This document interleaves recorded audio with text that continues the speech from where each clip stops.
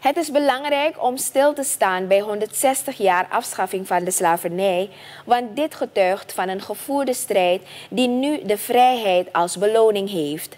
Dit zei president Chandrika Persat Santokhi tijdens de officiële opening van de Kitty Herdenkingsweek 2023. Deze week staat in teken van het creëren van bewustwording en het overdragen van kennis over het muzikaal erfgoed van de Afro-Surinamers. De week werd symbolisch geopend door het aansteken van een fakkel. De verschillende muzikale bijdragen, waaronder ook dans en kleding, behoren tot het muzikaal erfgoed van de Afro-Surinamers. Het staat zo stelt dat het investeren in cultuurbehoud belangrijk is voor het blijven voortbestaan van onder andere het muzikaal-cultureel erfgoed.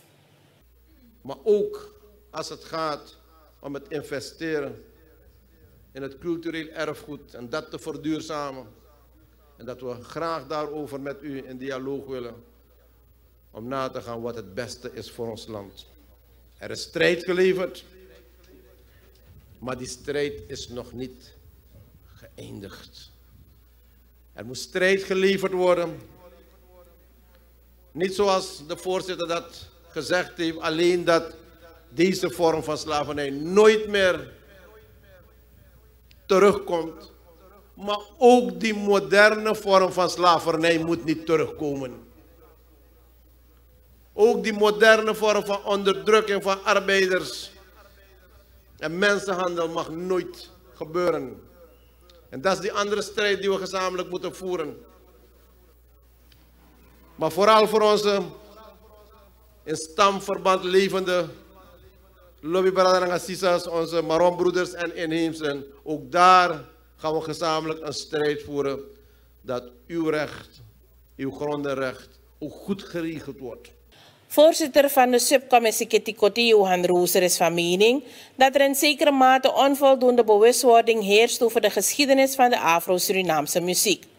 Daarom moet de potentie die het cultureel erfgoed bezit uiterst worden benut.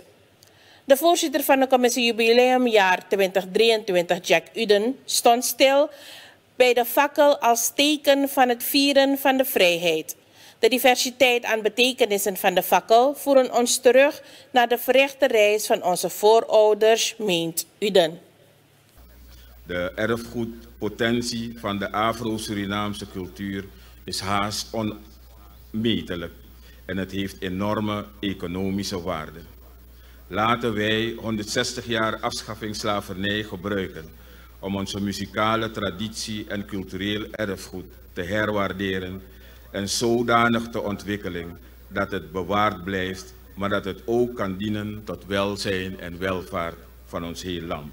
Het vuur staat immers voor kennis, voor reden, voor vooruitgang en licht in de duisternis.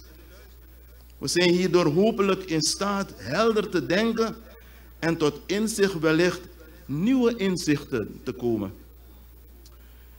En terwijl het vuur van de fakkel enerzijds beschermt, verlicht en warmte geeft, kan het ook zijn vernietigende kant hebben.